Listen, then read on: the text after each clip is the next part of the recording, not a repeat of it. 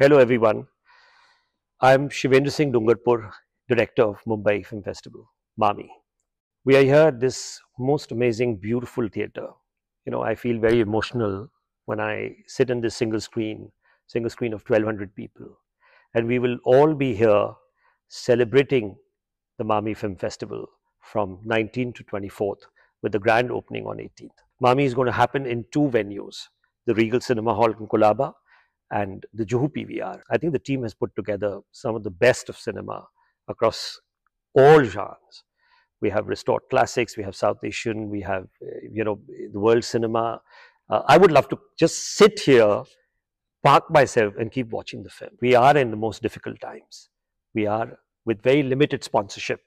While we want you to all register and have as many people to celebrate cinema, there is going to be a little cap. We would urge all of you to understand and support us.